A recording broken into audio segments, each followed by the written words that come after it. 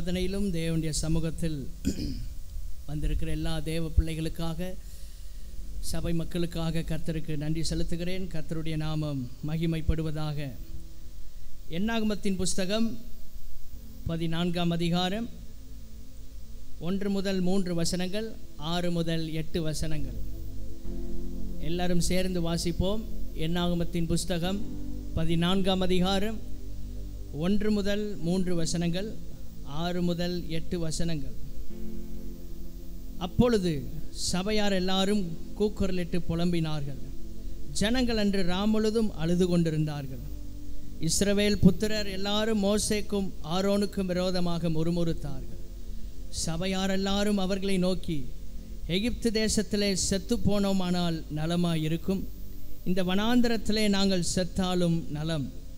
நாங்கள் பட்டயத்தால் மடியும்படிக்கும் எங்கள் பெண்ஜாதிகளும் பிள்ளைகளும் கொள்ளையாகும்படிக்கும் கர்த்தரங்களை இந்த தேசத்துக்கு கொண்டு வந்தது என்ன? எகிப்துக்கு திரும்பி போகிறதே எங்களுக்கு உத்தமம் அல்லவோ என்றார்கள். ஆறு முதல் எட்டு வசனங்கள். தேசத்தை சுற்றி பார்த்தவர்களில் நூனின் குமாரனாகிய யோசுவாவும் எப்புனையின் குமாரனாகிய காலேபும் தங்கள் வஸ்திரங்களை கிழித்து கொண்டு இஸ்ரவேல் புத்திரரின் சமஸ்த சபையையும் நோக்கி நாங்கள் போய் சுற்றி பார்த்து சோதித்த தேசம் மகா நல்ல தேசம். கர்த்தர் நம்மேல் பிரியமாக இருந்தால் அந்த தேசத்திலே நம்மை கொண்டு போய் பாலும் தேனும் ஓடுகிற அந்த தேசத்தை நமக்கு கொடுப்பார். ஆமேன். சொல்லுவோம். பதிமூன்றாம் அதிகாரம் முப்பதாம் வசனத்தை நாம் சேர்ந்து வாசிப்போம். பதிமூன்று முப்பது. அப்பொழுது காலே மோசைக்கு முன்பாக ஜனங்களை அமர்த்தி நாம் உடனே போய் அதை சுதந்தரித்து கொள்வோம். நாம் அதை எளிதாய் ஜெயித்து கொள்ளலாம் என்றார். ஆமேன். நாம் அதை எளிதாய் ஜெயித்து கொள்ளலாம். இஸ்ரவேல் ஜனங்களின் பன்னிரண்டு கோத்திரங்களிலிருந்து மோசே பன்னிரண்டு பிரதிநிதிகளை எடுத்து கானான் தேசத்தை வேவு பார்ப்பதற்காக அவர்களை அனுப்புகிறான். அவர்கள் போய் நாற்பது நாள் அந்த தேசத்தை சுற்றி பார்த்து திரும்பி வந்தார்கள். பன்னிரண்டு பேரை ஒவ்வொரு கோத்திரத்துக்கு ஒரு நபர் என்கிற வீதத்திலே அவன் எடுத்து அனுப்புகிறான். அதிலே பத்து பேர் இந்த தேசத்தை சுதந்திரிக்க முடியாது என்கிற செய்தியை கொண்டு வருகிறார்கள். ரெண்டு பேர் மாத்திரம் இந்த தேசத்தை நாம் சுதந்திரிக்க முடியும் என்கிற ஒரு செய்தியை சொல்லுகிறார்கள். இந்த நாளிலும் கர்த்தர் நம்மோடு மூன்று அனுபவங்களை இதிலிருந்து பேச விரும்புகிறார். இந்த காலை நேரத்திலும் மூன்று அனுபவங்கள் உடையவர்கள் இங்கே நாம் இருக்கலாம். இந்த மூன்று அனுபவத்திலிருந்தும் ஆண்டவர் இன்றைக்கு நமக்கு தேவையான சத்தியங்களை கொடுத்து நாம் எந்த அனுபவத்திற்குள் வர வேண்டும் என்பதை இந்த காலை நேரத்தில் கர்த்தர் நமக்கு உணர்த்து வைக்க வல்லமையுள்ளவராக இருக்கிறார் ஹலலோயா தேசத்தை குறித்து துர்ச்செய்தியை பரம்ப செய்தார்கள். என்னாகமம் பதிமூன்று முப்பத்தி மூன்றின் கடைசி பகுதி. தேசத்தை குறித்து துர்ச்செய்தி பரம்ப செய்தார்கள். தேவன் வாக்கு பண்ணின தேசம் தேவன் கொண்டு சேர்க்கிற தேசம் தேவன் முன்குறித்த இடம். அதை குறித்ததான ஒரு துர்ச்செய்தியை பத்து பேர் பரப்பினார்கள். தேவன் வாக்கு பண்ணின தேசம் பாலும் தேனும் ஓடுகிற அந்த காணான் தேசம். ஆண்டவர் கொடுத்த இடத்தை ஆண்டவர் சொன்ன வார்த்தை உங்களை நான் அங்கே கொண்டு போய் சேர்ப்பேன். அந்த தேசத்தை குறித்து ஒரு துர்ச்செய்தி பட்டணத்தை குறித்து. அந்த தேசம் நல்ல தேசம்தான் ஆனால் அங்கே இருக்கிற மனிதர்கள் மிக பயங்கரமானவர்கள் அவர்களை நாம் ஜெயிக்கவே முடியாது என்று சொல்லி ஒரு உண்மையான நிலையை அல்ல அவங்க பார்வைக்கு அது உண்மை போல தெரிந்தாலும் அது பைபிள் சொல்லுகிறது துர்ச்செய்தி என்று சொல்லப்பட்டிருக்கிறது. சில நேரங்களில் நம்ம பேசுகிற வார்த்தைகள் அது சரியாக இருக்கலாம். நம்முடைய பார்வைக்கு அது உண்மை போல தெரியும். இந்த பத்து பேர் சொன்ன காரியத்தில் மாற்றம் ஏதும் இல்லை. உண்மையாகவே அங்கே ஏனாக்கின் புத்திரர் இருந்தார்கள். ராட்சத மனிதர்கள் இருந்தார்கள். அவங்க பிறவியெல்லாம் அங்கே தான் இருக்குது கடினமான காரியம்தான். ஆனால் ஆண்டவுடைய பார்வையில் அது எப்படி இருக்கிறது என்றால் அது துர்ச்செய்தி என்று ஆண்டவர் சொல்றார். அநேக நேரங்களிலே நாம் பேசுகிற வார்த்தைகள் நாம் எதை அறிக்கை செய்கிறோம் அதுதான் நம்ம வாழ்க்கையில் நடக்கும். அறிக்கை செய்வது எப்படி அதை பொறுத்து தான் ஆண்டவர் நம்முடைய வாழ்க்கையில் செயல்படுவார். இங்கே சொல்லப்பட்டபடி தேவன் முன் குறித்த தேசம். உண்மையை தான் சொன்னாங்க. ஆனால் அது கர்த்தருடைய பார்வையில் துர்ச்செய்தியாக இருக்கு. சில நேரங்களில் நாம் பேசுவது ப்ராக்டிக்கலாக இருக்கிற மாதிரி இருக்கும். ஆனால் கர்த்தர் அதை கூட விரும்புறதில்ல. ஆண்டவர் நம்முடைய வாயில் எதை எதிர்பார்க்கிறார்னா ரியலாக ப்ராக்டிக்கலாக நடக்கிறதல்ல. விசுவாச அறிக்கை செய்ய கர்த்தர் விரும்புகிறார். எல்லாரும் ஒரு ஆம்பேன்னு சொல்லலாமா? சூழ்நிலைகளை பார்த்து இப்படி என் வாழ்க்கை இருக்குது இதுதான் என் சூழ்நிலை இதுதான் என் குடும்பத்தின் நிலைமை என்னால் எதையும் செய்ய முடியாது. இவ்வளோதான் என் வாழ்க்கை என்று நீங்களே உங்களை சூழ்நிலைகளை வைத்து அளவிட்டு கொண்டு நீங்கள் அறிக்கை செய்து கொண்டிருந்தால் இன்றைக்கு கர்த்தர் சொல்கிறாரு துர்ச்செய்தியை பேசாமல் விசுவாச அறிக்கை செய்ய கர்த்தர் நமக்கு உதவி செய்வாராக. ஆமேன்னு சொல்லுவோம். ஹalleluya. கர்த்தர் வாக்கு பண்ணின தேசம். அவர் அங்கே முன்குறித்திருக்கிறார் அந்த இடத்தை. இப்படி பேசின போது மூன்று காரியங்கள் அங்கே நடைபெற்றது. பதினான்காம் அதிகாரம் முதல் வசனத்தில் பார்த்தீங்கன்னா முதலாவது இந்த துர்ச்செய்தி வந்ததின் விளைவாக சபை மக்கள் கூக்குரலிட்டு புலம்பினார்கள். நம்முடைய வாயில் எப்பொழுதும் விசுவாச அறிக்கை தான் இருக்க வேண்டும். அதுக்கு மாறான காரியங்கள் இருக்குமானால் இங்கே சொல்லப்பட்டபடி அநேக நேரங்களில் புலம்ப வேண்டிய ஒரு நிலை ஏற்படும். புலம்பல். ஸ்தோத்திரம். அநேக நேரங்களில் நிறைய பேர் நம்ம புலம்பிட்டே இருக்கிறோம். என்ன சொல்கிறோம் நமக்கே தெரியாது. காரணம் என்ன? நம்ம வாழ்க்கையில் வார்த்தைகள் எப்படி இருக்கிறது என்றால் அவிசுவாசமான வார்த்தைகள். இந்த அவிசுவாசமாக பேசுகிற ஒவ்வொரு வார்த்தையும் உங்கள் வாழ்க்கையில் புலம்புவதற்கு ஏதுவாக அமைஞ்சிடும் ரெண்டாவது சொல்லப்பட்டிருக்கிறது ராம் முழுவதும் அழுதாங்க. காரணமே இல்லாத அழுக. ஆண்டவர் அங்கே போங்க நீங்கள் சுதந்திரிக்க முடியுங்கிறாரு. ஆனால் இவர்கள் இந்த துர்ச்செய்தியை கேட்டு அழுதுட்டு இருக்கிறாங்க ஆமேன். நம்முடைய வாழ்க்கையில் அநேக நேரம் நம்மை சோர்வடைய பண்ணுகிற வார்த்தைகள் நம்மை பலவீனப்படுத்துகிற வார்த்தைகளை நாம் கேட்கும்போது அப்படியே உட்காந்து அழுதுகிட்டே இருக்கும். சிலர் அழுதுகிட்டே இருப்பாங்க எதுக்கு அழுறாங்கன்னு தெரியாது. ராம் முழுவதும் அழுக. மூன்றாவது அங்கே சொல்லப்பட்டிருக்கிறது முறுமுறுத்தாங்க.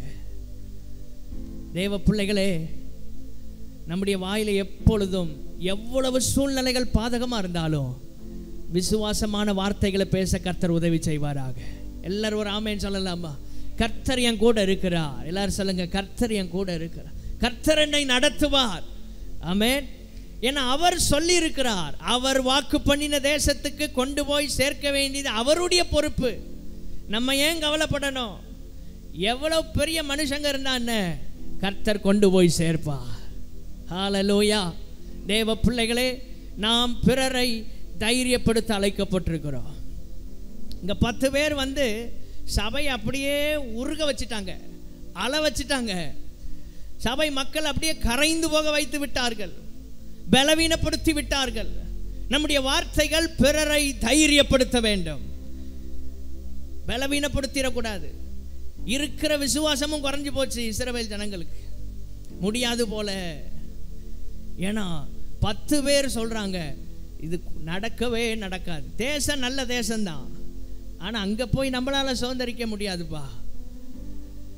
இந்த காலை நேரத்தில் கர்த்தர் உங்களோட பேசுகிறார் இன்னும் கர்த்தர் உங்கள் வாழ்க்கையில் அற்புதங்களை செய்யண்ணா.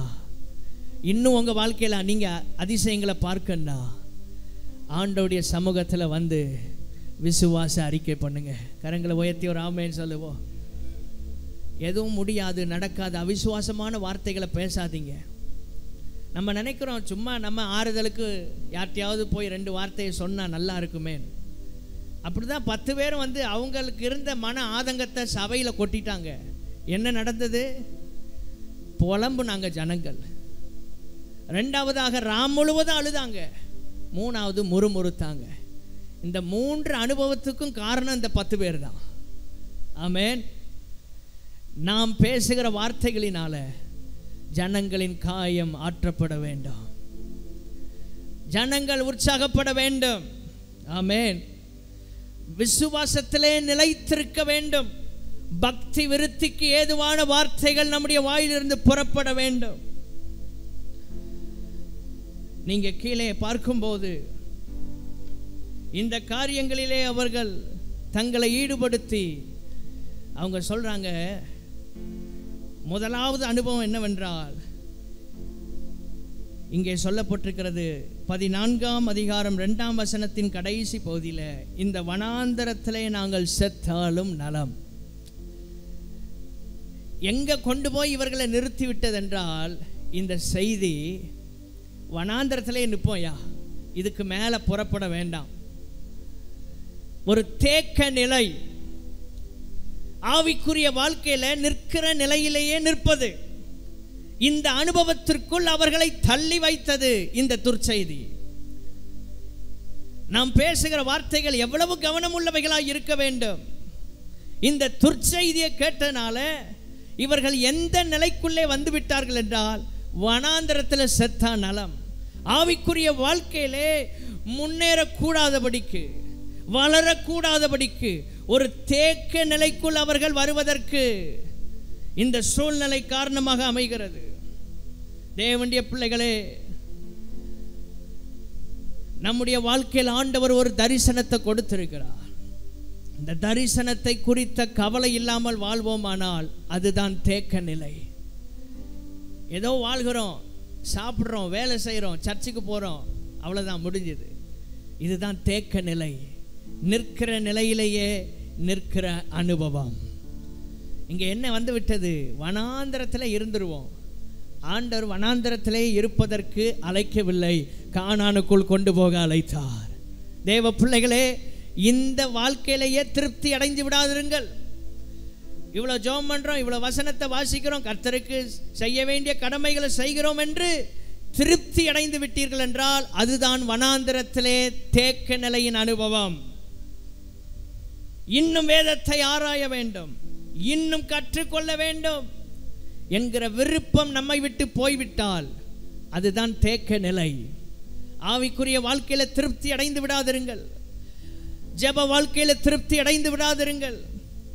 உபவாசத்தில் திருப்தி அடைந்து விடாதிருங்கள். கிறிஸ்துவுக்காக ஏதாவது ஒன்றை சாதிக்க வேண்டும் என்ற விருப்பம் இல்லாமல் போய்விடக்கூடாது. அதுதான் தேக்க நிலை. இந்த அனுபவத்தில் தான் அநேகர் விழுந்து போயிருக்கிறோம். ஒரு அளவுக்கு வந்தாச்சு ரட்சிக்கப்பட்டோம் ஞானஸ்நானம் எடுத்துட்டோம் பர்சுத்தாவின் அபிஷேகத்தை பெற்றாச்சு. இனி போதும். அப்படிங்கிற மன நிறைவுக்குள் என்றைக்கு வருகிறோமோ அதுதான் வனாந்தரத்திலேயே நிற்கிற அனுபவம். வனாந்தரத்தில் நிற்க வேண்டாம். காணானுக்குள்ள போகணும்.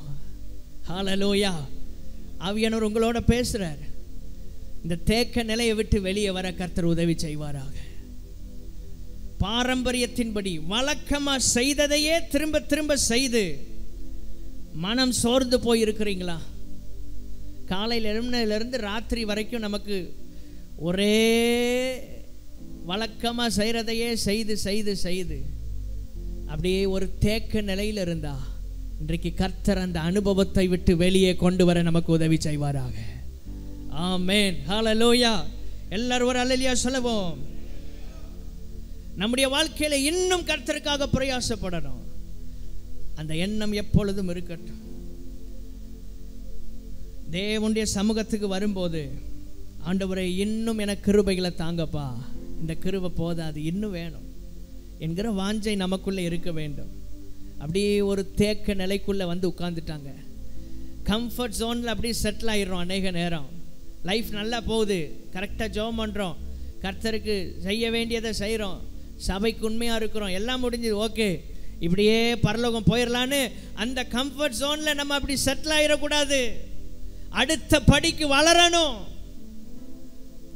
இந்த பத்து பேர் கொண்டு வந்த செய்தி இவர்களை முன்னேறக்கூடாதபடிக்கு நிற்கிற நிலையிலேயே நிற்க வைத்து விட்டது. தேவனுடைய பிள்ளைகளே நம்முடைய வார்த்தைகள் தேவனுடைய சபையை அடுத்த நிலைக்கு கொண்டு செல்ல வேண்டும். நிற்கிற நிலையிலேயே நாம் நின்றுவிடக்கூடாது நல்ல ஒரு அழலியா சொல்லலாமா? இந்த துர்ச்செய்தி தேக்க நிலைக்குள் இவர்களை கொண்டு போகுது. ரெண்டாவது அனுபவம் என்னவென்றால் பதினான்காம் அதிகாரம் மூன்றாம் வசனத்தின் கடைசி பகுதியை பாருங்க. எகிப்துக்கு திரும்பி போகிறதே எங்களுக்கு உத்தமம். எகிப்துக்கு திரும்பி போகலான்னு முடிவு பண்ணிட்டாங்க. ரெண்டாவது அனுபவம் என்னவென்றால் இங்கே சொல்லப்பட்டபடி பின்மாற்றமான ஒரு அனுபவம். பின்னோக்கி போகிற அனுபவம். முதலாவது தேக்க நிலை என்கிற அனுபவம். ரெண்டாவது பின்னோக்கி நம்மை இழுக்கிற ஒரு அனுபவம். அதான் பின்மாற்றத்தின் ஆவி. நம்ம ஆராதிப்போம் ஜெபம் பண்ணுவோம் வேதத்தெல்லாம் வாசிப்போம் சபைக்கு ரெகுலராக வந்துடுவோம் ஆனால் வளரக்கூடாதபடிக்கு அப்படியே பின்னுக்கு ஒரு வல்லமை இழுக்கும். அந்த பின்மாற்றத்தின் ஆவி. இங்கே சொல்லுகிறாங்க பாருங்க நம்ம எகிப்துக்கு திரும்பி போனால் நல்லா இருக்கும். எத்தனையோ நேரம் நம்ம வாழ்க்கை அடிக்கடி எகிப்துக்கு போயிட்டு போயிட்டு வருது. அடிக்கடி எகிப்துக்கு போய்க்கொண்டே வருகிறது. ஜெபம் வேத தியானம் ஆராதனை இதெல்லாம் ரொம்ப கடினமாக தெரியும்.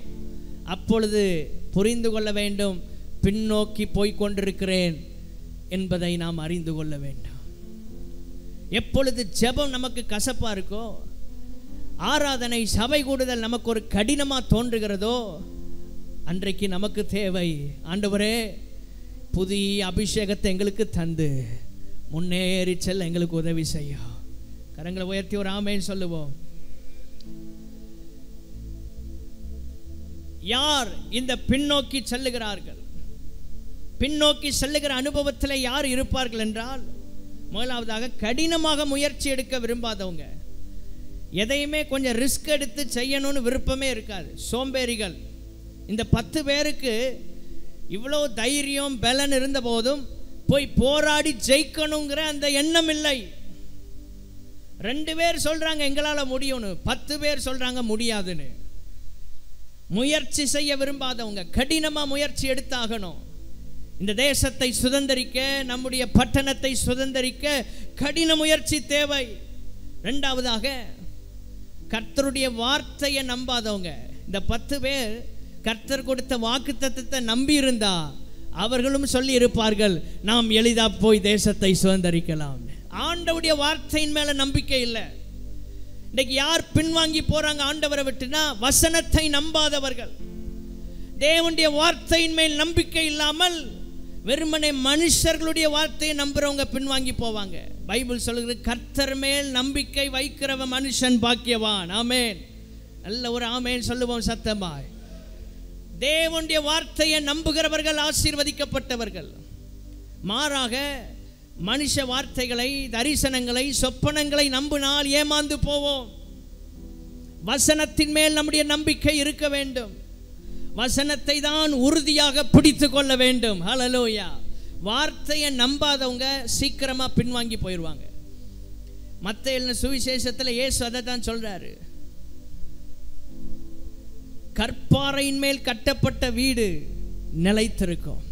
ஹாலலோயா மணல்ல கட்டப்பட்டா அது புயல் காற்று வரும்போது அந்த வீடு ஒன்றுமில்லாமல் போய்விடும். கற்பாறை இயேசு கிறிஸ்து. இயேசு கிறிஸ்து என்கிற வார்த்தை இந்த வசனத்தின் மேல் நம்முடைய வாழ்க்கை கட்டப்படும் போதுதான் எந்த சூழ்நிலை வந்தாலும் நாம் பின்மாற்ற ருசி காணாமல் முன்னேறி கொண்டே இருக்க கர்த்தர் உதவி செய்வார். ஆமேன்னு சொல்லுவோம். ஒரு மனுஷன் மேல் நம்முடைய அஸ்திபாரத்தை போடக்கூடாது. ஏதோ ஒரு தீர்க்கதரிசி மேல நம்ம அஸ்திபாரத்தை போற்றக்கூடாது. வெளிப்பாடுகளை சொல்றவங்க மேல அஸ்திபாரத்தை போற்றாதீங்க. வசனத்தின் மேல் அஸ்திபாரத்தை போட கர்த்தர் உதவி செய்வாராக. கரங்களை உயர்த்தி ஒரு ஆமைன்னு சொல்லுவோம். நம்முடைய அஸ்திவாரம் இயேசுவின் மேல் அவருடைய வார்த்தையின் மேல் இருக்குமானால் நாம் எந்த சூழ்நிலையிலும் பின்வாங்க போவதற்கான அறிகுறி வாய்ப்பு இல்லாமல் இருக்கும். கர்த்தருடைய வார்த்தையை நம்பாதவங்க ஆண்டவருடைய அன்பை விட்டு தூரமாக போயிடுவாங்க வசனத்தை நம்புங்க. இயேசுவை நம்புங்க. நீங்கள் செழித்திருப்பீங்க. ஹலலோயா ஆண்டவுடைய வார்த்தையின் மேலே தான் நூற்றுக்கு நூறு சதவீதம் நம்பிக்கை இருக்க வேண்டும். யார் கிறிஸ்துவை விட்டு யார் பின்னோக்கி இழுக்கப்படுகிறார்கள் என்றால் மூன்றாவது மற்றவர்களோடு தங்களை ஒப்பிட்டு பார்க்கிறவங்க. பதிமூன்றாம் அதிகாரம் முப்பத்தி மூன்றாம் வசனம் என்னாகமத்தில் நீங்கள் வாசிக்கும் போது அவங்க சொல்கிறாங்க அவங்களுக்கு முன்னால் நாங்கள் வெட்டுக்கிளி போல இருந்தோம். சத்துருக்களோட தங்களை ஒப்பிட்டு பார்க்குறாங்க. எதிராளியோட தங்களை ஒப்பிட்டு பார்க்குறாங்க. அநேகர் பின்வாங்கி போக காரணம் மற்றவர்களோட தங்களை ஒப்பிட்டு பார்ப்பது. தேவனுடைய பிள்ளைகளே நம்முடைய அளவுகோல் கர்த்தருடைய வசனம். ஹலலோயா ஹலலோயா இதோடு உங்களை ஒப்பிட்டு பாருங்கள். இந்த வசனத்தோட தான் நம்மளை ஒப்பிடணும். இதுதான் நமக்கு சிறந்த கண்ணாடி. ஆமேன் ஒவ்வொரு நாளும் இந்த கண்ணாடிக்கு முன்னால் நிற்காம வெளியில் வரக்கூடாது. வெளியில் வர்றதுக்கு முன்னால் கண்ணாடியில் நின்று நம்ம எவ்வளோ நேரம் செலவழிக்கிறோம்? ஒவ்வொரு நாளும் வாழ்க்கையை ஆரம்பிக்கிறதுக்கு முன்னால் வேதம் என்கிற கண்ணாடிக்கு முன்னால் நிற்போம். ஆனால் நம்மை நாமே நிதானித்து அறிவோமானால் நாம் நியாயம் தீர்க்கப்படோ இந்த வேத வசனம் நமக்கு ஒரு சிறந்த கண்ணாடி. இதில் தான் நம்ம முகத்தை பார்க்கணும். அமேன் அமேன் ஹalleluya.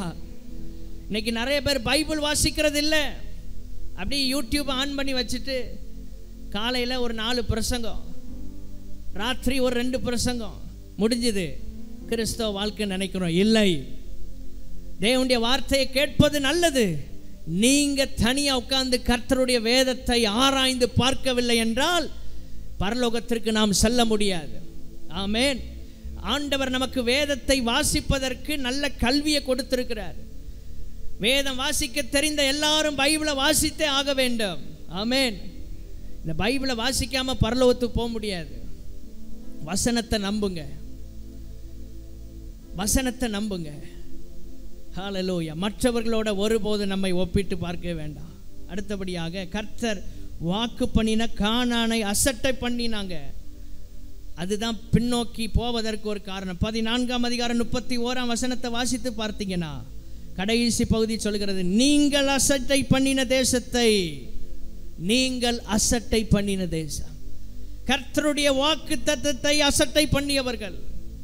ஆண்டவர் கொடுத்த வாக்கை வாக்கு பண்ணின இடத்தை அசட்டை பண்ணிட்டாங்க. தேவன் உங்களுக்கென்று வாக்கு பண்ணின ஆசீர்வாதங்களை அசட்டை பண்ணிடாதீங்க அதை பெற்றுக்கொள்வதற்கு ஜாக்கிரதையா இருங்க கிடைச்சா கிடைக்குது கிடைக்கட்டா போகுது. அப்படி அல்ல உறுதியாக நம்புங்கள். அதை பிடித்துக் கொள்வதற்கு ஆசையாய் தொடர வேண்டும். ஹாலலோயா மூன்றாவது ஒரு அனுபவம். பதிமூன்றாம் அதிகாரம் முப்பதாவது வசனம். காலேப் சொல்றான் உடனே போய் அதை சுதந்திரித்துக் கொள்வோம். மூன்றாவது அனுபவம் என்ன தெரியுமா? முன்னேறி செல்லுகிற அனுபவம். தேவனுடைய பிள்ளைகளே முதலாவது அனுபவம் நிற்கிற நிலையிலேயே வனாந்திரத்தில் தேங்கி நிற்கிற ஒரு தேக்க நிலை. ரெண்டாவதாக பின்னோக்கி செல்லுகிற அனுபவம். அதான் பின்மாற்றமான அனுபவம். மூன்றாவது முன்னேறி செல்லுகிற அனுபவம். இதுதான் வளருகிற அனுபவம். எந்த அனுபவத்தில் இருக்கிறோம்? முதல் ரெண்டு அனுபவம் ஆபத்தானது. மூன்றாவது அனுபவத்துக்குள்ள வாருங்கள். முன்னேறி செல்வதற்கு காலைவை போல எழும்பி வாருங்கள். இங்கே தேக்க நிலையிலிருந்து ஒரு நாள் அங்கேயும் நம்ம சாகத்தான் போறோம். பின்னோக்கி போகும்போது அங்கேயும் மரணம் தான் வரப்போகுது.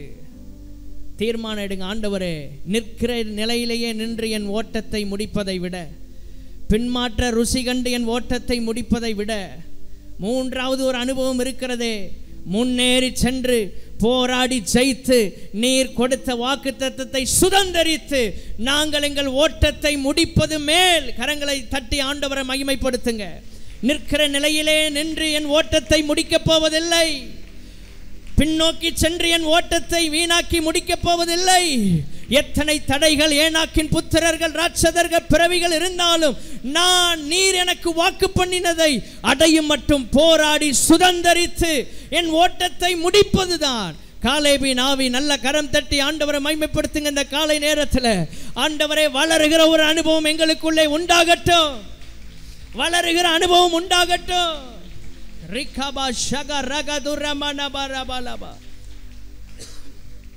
ஹாலை ஹalleluya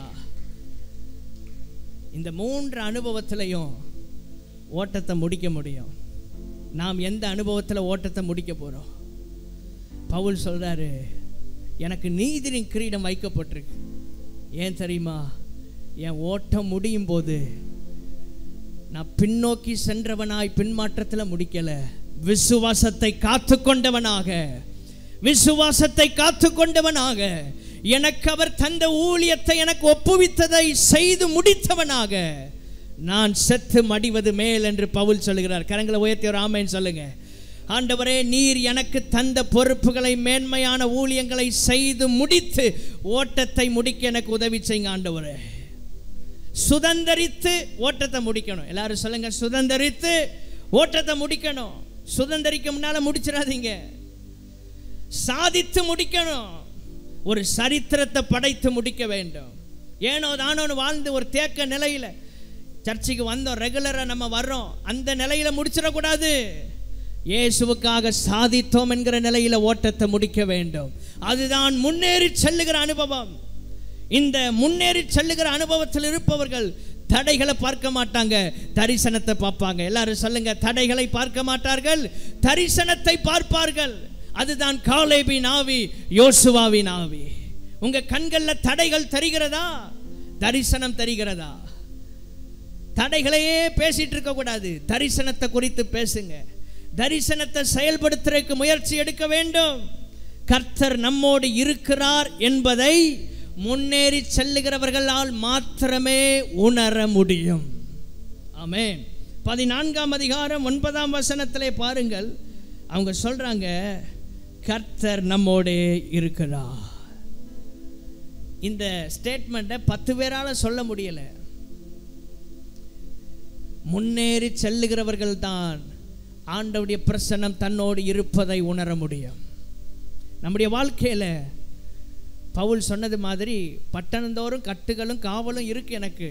ஆனால் அதை பற்றி நான் கவலைப்படலை. சுவிசேஷத்தை பிரசங்கம் பண்ணணும். இன்னைக்கு தடையை பார்த்து உட்காந்துடக்கூடாது பலவீனத்தை பார்த்து உட்காந்துடாதீங்க முன்னேறி செல்லுங்கள். ஹalleluya முன்னேறி செல்லுங்கள். முன்னேறி செல்லுங்கள். இவங்க எதிர்மறையான காரியங்களை பேசலை. கர்த்தர் தங்களுக்கு கொடுத்த அந்த கானான் தேசத்தை சுதந்தரிப்பதற்கு தேவ சபையை உற்சாகப்படுத்தினாங்க. ஹாலலோயா இன்றைக்கு நம்முடைய வார்த்தைகள் மற்றவர்களை உற்சாகப்படுத்த வேண்டும். விசுவாசத்திலே அவர்களை உந்தி தள்ள வேண்டும்.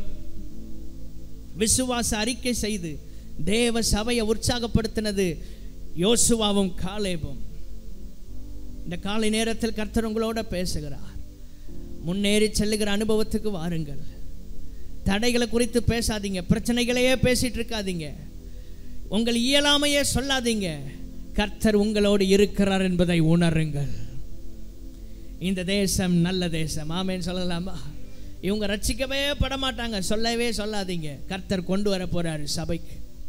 இந்த சபை வளர போகிறது. கரங்களை உயர்த்து ஒரு ஆமேன்னு சொல்லுவோம். தரிசன கண்கள் தேவை.